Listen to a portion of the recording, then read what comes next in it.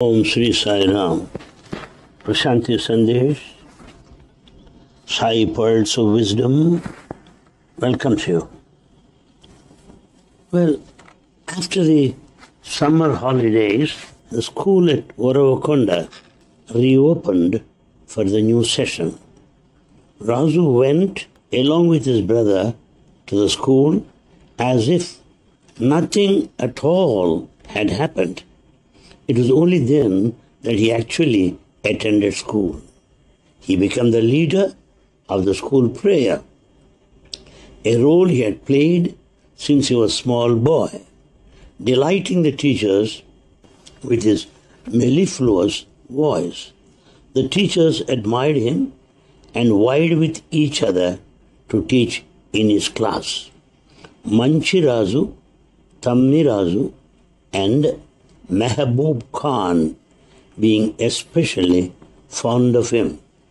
Venkamma recalls that Raju was admitted to 8th standard in the high school at Uravakonda and that his claim of being Sai Baba and the news of his miraculous powers had spread to the people there. In those days, singing of a prayer composed by Rabindranath Tagore began daily sessions in schools established by Annie Besant of the Theosophical Society. The same prayer was sung in Raju's school also. I'll give you the English translation. Moment to moment, thy creation call resounds. Hearing thy magnanimous words, Hindus, Buddhists, Jains, Parsis, Muslims, and Christians come from the east and west to thy throne, making the garland of love. Hail to thee who unites all humanity. That's how the song goes. The song which speaks of the unity of religions, peace and tolerance, the basic philosophy of Indian life, was destined to become the forerunner of the national anthem years later. One Thursday, as Raju was playing and talking to some of his classmates in the worship, he raised his hand and waved. Yellow colored rice grains, yes, usually used for worship, hence regarded as sacramental, fell on the heads of his companions. Abdul Qadir, the student leader, came to know of it and asked Raju where he had got the rice and how it had emerged from his hand. Raju spread his right palm and pointing it with his left index finger, showed Abdul Qadir the mark of a lotus in the center of his palm. Well, on Thursdays, Raju was known as Sai Baba, the visitors of his brother's house, and later at the house of Anjaneyulu, the excise inspector. Raju would go home early on Thursday afternoons with permission from the teachers to get ready for puja. The puja would begin after 5 in the evening and would go until 8 or 9 at night. Often there were no classes on those afternoons because most of the teachers holding him in high regard would leave school to attend puja. Often people would seek his counsel, bringing their problems and worries. After Arati, he would materialize vibhuti, sweets, and fruit and distribute them as prasadam to the devotees. He also answered questions, most of them before they could be asked. Even his headmaster, struck by the radiant glow on Raju's face, bowed his head in salutation to him. Though many gathered at the house for prasadam, the headmaster and teachers like Manchi Raju, Tamirazu, V.C. Kondappa, and Sesha Iyengar came to listen and benefit from Raju's spiritual wisdom.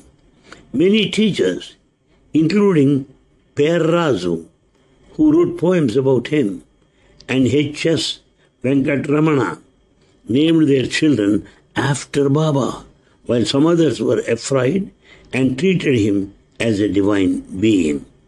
In those days, the people of Uravakonda also felt devotion towards him and performed rituals, pujas, and attended bhajans in large numbers. Well, outside of school hours, Raju would advise his classmates how to live a noble life. He would collect a group in Subramanya temple and teach bhajans and songs on Sai Baba of Shirdi. The name Sai Baba of Shirdi thus became a link for the world. Raju's following was unquestionable. The boys would sometimes neglect their homework and spending their evenings singing bhajans or following Raju. The elders, supported by irate teachers, often punished them for this behavior. We were beaten countless times. K. Sitaramara Rao, his classmate, would say later that Raju was much scolded by his sister-in-law for neglecting his studies. You are not even a Brahmin boy, like your friends. She would shout at him. They at least can ask for alms, moving from door to door. Whereas you cannot even do that. If you do not study well, how are you going to live?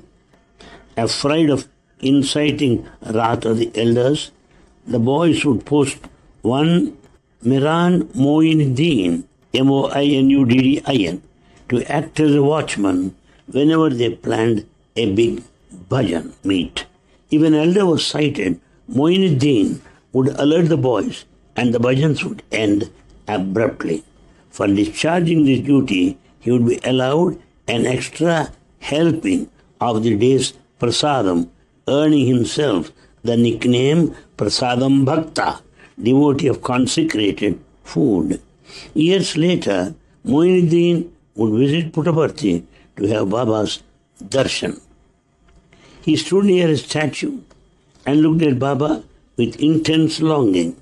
Baba spotted him from a distance, came near, and asked, Is that not Prasadam Bhakta?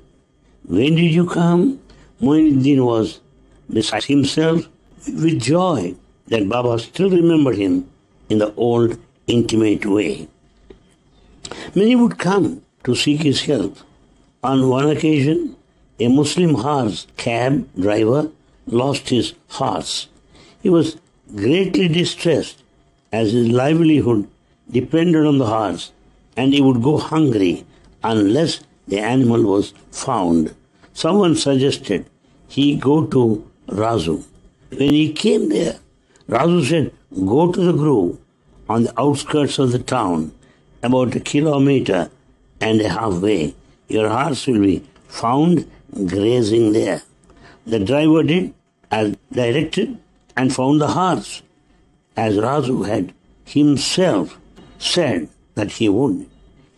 Well, interestingly, a similar episode took place during the times of Sai Baba of Shirdi when another horse cab driver lost his horse, and in a similar fashion, Sai Baba helped the poor man to recover it. Well, in another incident, a teacher reported the loss of his pen. Raju instantly named a certain servant as the culprit. The teacher protested and vouched for the servant's innocence and honesty. However, he searched the servant's belongings in the latter's absence.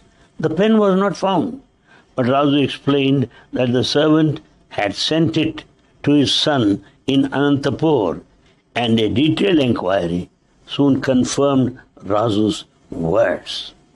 See, the divinity is revealed right from the childhood. Disgusted with his crippled son, secretly took him and left him in a far off place. It's a incident concerning a Brahmin. Later, when he felt repentant and looked for the son, he was missing. He went to Raju, who told him that in three days he would get news of his son, and in eight days he would return. As predicted, a letter arrived from a local government officer informing the father that his son had been found and in a week the boy was brought home. There were a host of such predictions and all turned true. So many people began to perform puja and bhajans in his presence. Seshama Raju was not happy about this, for he was anxious that his brother should complete his studies and carve out a career for himself. He insisted on Raju being formally educated. Raju used to comment that the Telugu Pandit, his brother, did not know anything about him. Raju's teacher, Manchi Raju Tamirazu, was greatly drawn towards him. Raju would answer his questions on philosophy, which also brought the other teachers to him. On Thursday, Raju told them to ask questions. There was a great commotion as the teachers vied with one another to ask questions. Like an adept scholar, Raju answered all their questions. H.S. Venkatramana was a science teacher and assistant headmaster at the Uravakonda school. His eminence in teaching earned him the President Award. He scorned and challenged Raju's claim to divinity.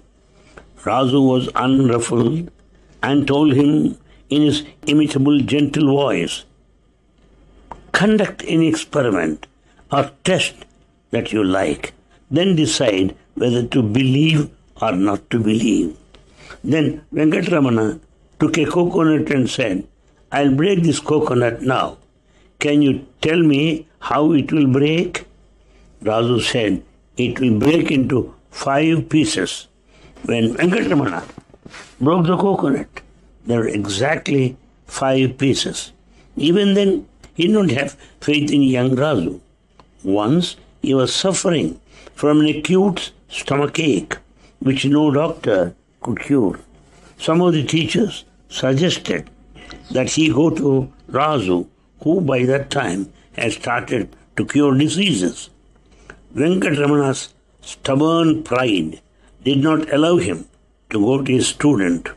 When his wife approached Raju, he asked her, How is your husband's stomach ache? Materializing some vibhuti and giving it to her. That very moment, Venkatramana's stomach ache disappeared. Finally convinced, he changed his attitude and became Raju's foremost disciple. Many others followed and became devotees as well. The headmaster, T. Lakshmi Pati, maintained stringent discipline and as a teacher was very systematic. Being devoted man, he held bhajans in his house every Sunday. His daughter, Lalita, would recall that Raju attended the sessions and took the lead in singing. His song, Karunakara, Karunintsarava, Karunakara, Karunintsarava, still rings in my ears. The whole day was spent in upasana, and in the evenings there was puja.